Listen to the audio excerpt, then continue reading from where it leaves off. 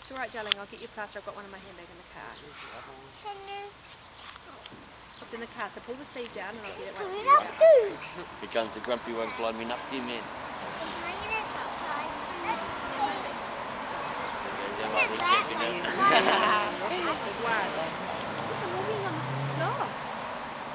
I can see up.